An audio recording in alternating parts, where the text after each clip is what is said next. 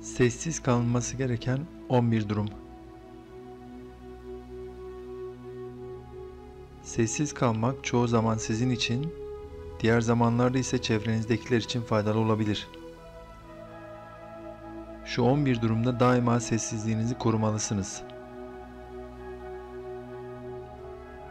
Birinin duygularınızı kelimelerinizden anlayamadığını hissettiğinizde.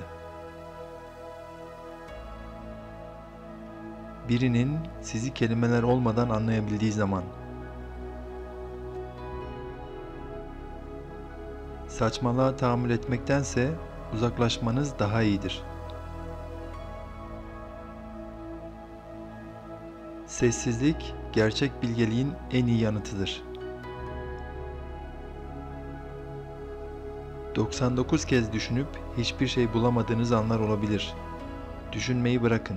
Sessizliğin içinde yüzün ve gerçek size gelecektir.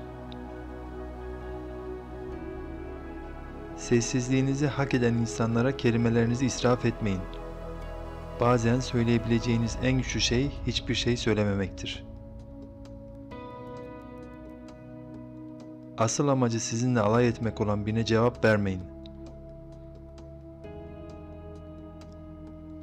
Birisi çok duygusal olduğunda ona cevap vermek bir işe yaramaz.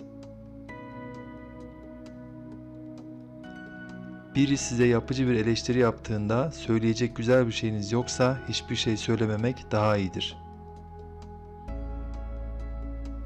Aptal insanlarla asla tartışmayın. Sizi kendi seviyelerine çekerler.